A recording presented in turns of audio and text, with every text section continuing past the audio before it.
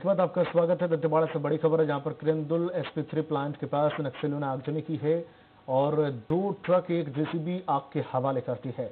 मौके पर किरंदुल पुलिस रवाना हुई। किरंदुल थाना क्षेत्र की पूरी घटना बताई जा रही। तस्वीर में आप देख सकते हैं किस तरह से उन्होंने यहाँ पर मशीनों में आग लगाई।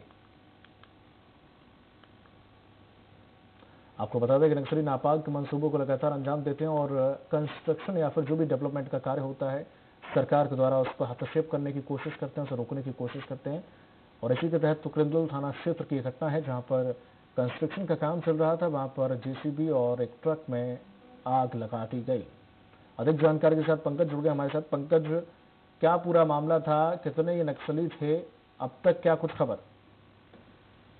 बिल्कुल, नक्सलियों ने एक बार फिर से अपनी विकास विरोधी गतिविधि को अंजाम देते हुए दहशत फैलाने का काम किया है।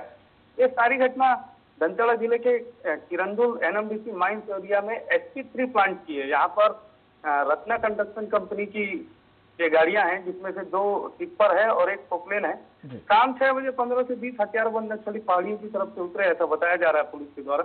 और वो सभी नक्सली इन्हीं गाड़ियों की टंकी का डीजल फोड़ करके इन्हीं गाड़ियों पर सीधा आगजनी उन्होंने की है और आगजनी करने के बाद पहाड़ी के दूसरे इलाके में निकल गए जब तक खबर आई है पुलिस के पास पुलिस मौके पर पहुँची है और फायर ब्रिगेड की गाड़ियाँ लगा करके इन आग पर काबू पाने की कोशिश की जा रही जी।